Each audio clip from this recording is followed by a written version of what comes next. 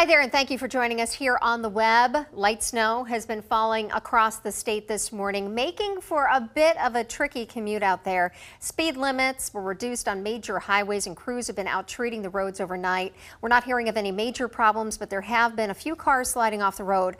You're going to want to leave yourself some extra time if you're traveling anywhere this morning. The Attorney General's office says that the deaths of two women in Farmington have been ruled homicides.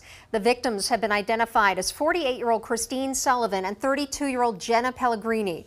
According to the medical examiner, both women were stabbed multiple times. Sullivan also suffered blunt impact injuries. The victims were found early Sunday morning inside a home on Meaderboro Road. Authorities are not saying if there are any suspects in the case. A hearing is being held at the State House today on a bill regarding security screening at state correctional facilities. The hearing comes after officials implemented new restrictions for people visiting state prisons as part of an effort to keep drugs and contraband from being transferred inside. Among the restrictions, hugs will be kept to three seconds at the beginning and end of the visit. Failure to comply could end the visit and possibly future visits. Lawmakers in Concord are considering a bill that would require body cameras for certain police officers. Under the proposal, officers who have been the subject of a substantiated complaint would be forced to wear a body camera. Supporters say it provides transparency, but some opponents have pointed to the cost as a flaw in this proposal.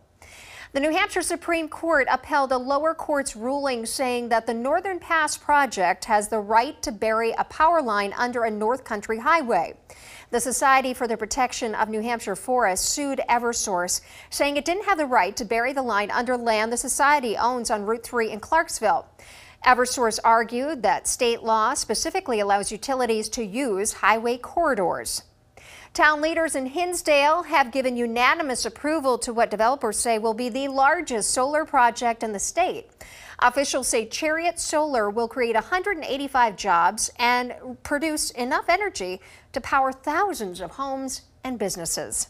That's it for your morning webcast. Thanks for joining us. We'll have more news for you on the air today at noon.